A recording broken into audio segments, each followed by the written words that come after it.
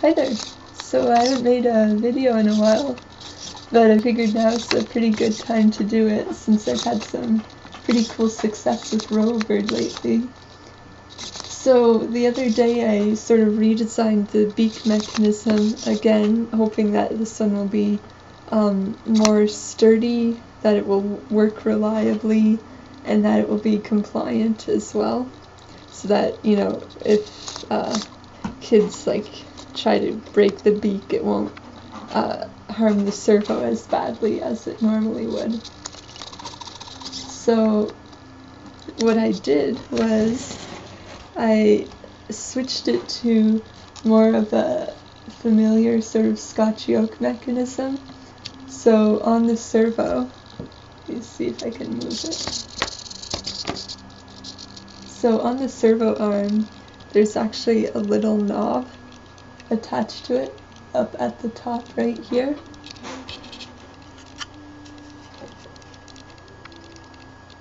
And that's uh, sort of just floating within this rectangle here. And basically when the servo rotates then this rectangle is pushed and then when it's pushed then it moves the beaks open and closed. So um, right now I just have a potentiometer attached to it, attached to an Arduino that's moving the servo. So you can see it's pretty cool. You can really push it to the limits like right there.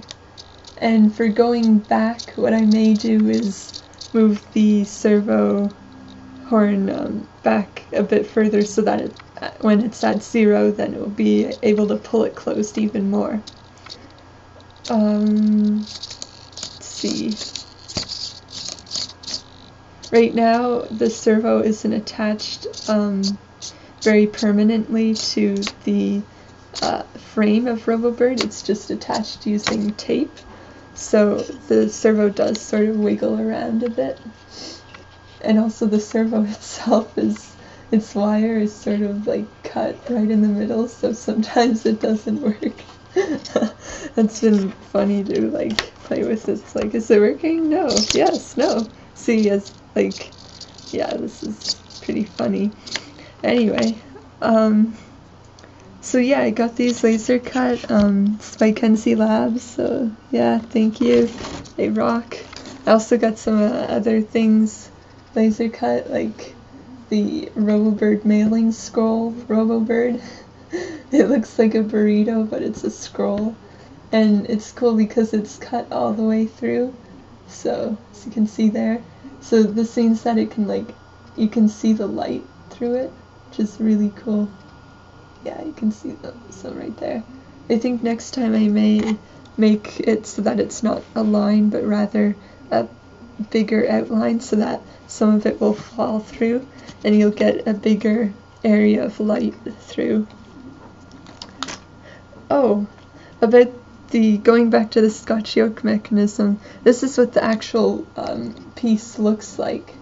So basically these two right here connect to the beak just basically the same way using um, some wire looped around it. I may think of a better way, but right now it seems pretty good and uh, everyone making this will have wire hopefully so yeah. Oh and another thing I've been experimenting with um, so there were some RoboBrrds that went bad because of a DPI conversion.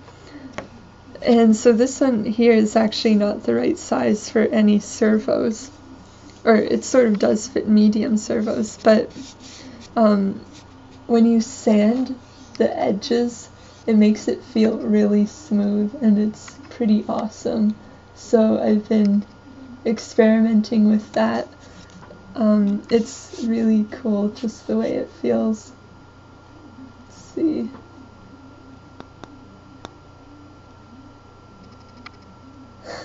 I don't think the camera wants to focus on that.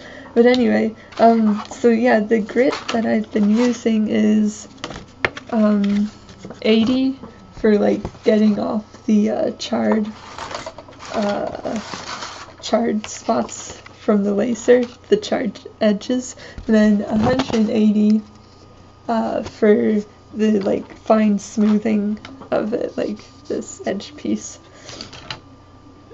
Uh, I also got another piece of art laser cut, so this is like a, just a little doodle, and uh, yeah, it's pretty funny. And I also got like a sign, so it says RoboBrrd, so this is a D from it. I'll probably try and sand them, but it takes a while to get everything sanded. So this is what this sign. Robo bird.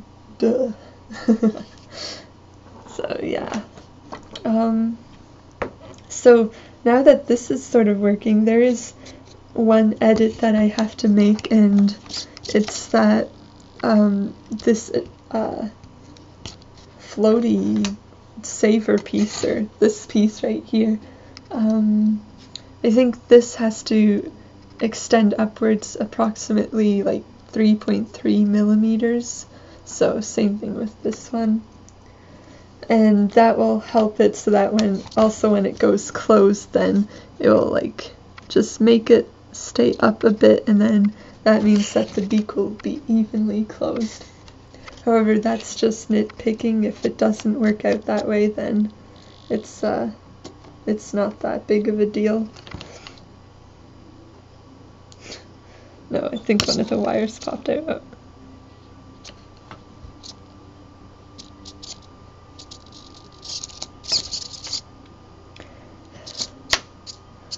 So that will be pretty cool to uh, test that.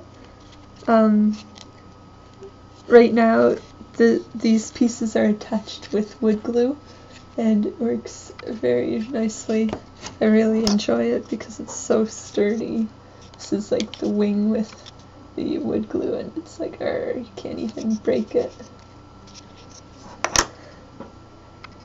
Um, so yeah, I think that's pretty much it to show right now. I'm, I'm really happy that finally um, I won't have to redesign the beak again because it's working really good right now.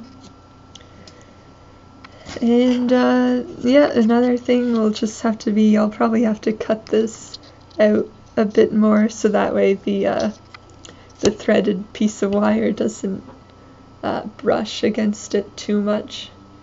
Um, it's totally okay though for this part to be brushing because it seems to be working really fine and it seems to add some stability to it as well. so that's pretty funny. Oh, yeah, one more thing. Wow, sorry. This is like dragging on, but this is so exciting. Alright, so another thing is that the uh, beak, uh, like this part right here, will attach, will be able to be attached to back here um, with a spring. So that way when the servo isn't on, then it will be able to spring back to closed um, position, hopefully. And uh, yeah, I'm, I'm just, I'm interested in seeing how well it will hold up and uh, yeah, I, I like springs a lot, so it'll be fun to play with that. Who knows if we'll actually make it in the end. Uh, kit though, but yeah. So right now, what I actually need more of is more servos. So since this one's this one's wire is sort of temperamental, that brings me down to two sort of working servos, and one of them is like over here. So this one works, which is good, but it's glued in, so I have to unglue it out. Um, so yeah, I need my servos, and then I need some parts from McMaster, like I need these rivets, but in 3 quarter inch instead of 1 inch. And then I need, um, you know, those like servo extender thingies that were on the uh, RoboBrrd that I showed uh, at Evil Mad Science, the uh, red phoenix one. That's how basically the wing servo works is that it uses the uh, the like little servo not little servo wires but they're like steel wires and then it pushes and pulls it. I want to experiment with some that aren't as springy to see if it reduces any backlash on the uh, servo. But one of the points of it being springy is that this is pretty funny because like all my robo birds got broken this way is that when the kids like go like that with the wing then it won't break the servo or at least you know it will, it will uh, be a lot to break the servo. Unlike now how it's like you like sneeze on it and it breaks the servo. Because the arm is just like so long that like yeah. Um uh, yeah. As i'm looking at both of my RoboBrrds that don't work. Boo um so yeah maker faire was a lot of fun and um this is coming along well i just need parts from mcmaster servos then I need to redesign a smaller Arduino board to fit in there because these ones won't be able to fit in here. Oh, actually they do. Well, if you cut off part of it. But I want to make sure that there's uh, screw terminals on it for sure.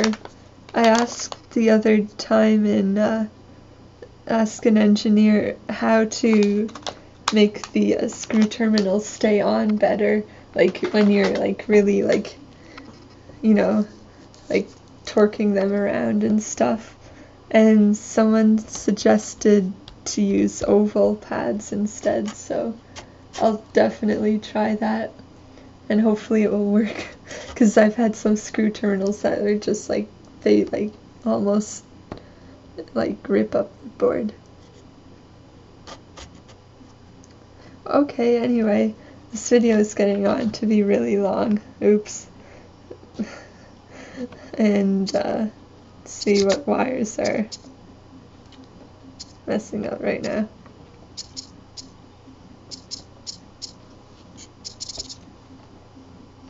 Let's see. Oh, they're really say bye to everyone. there we go.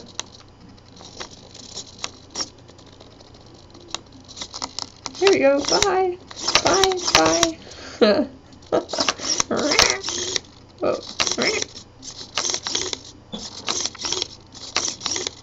oh, the servo horn detached from the servo.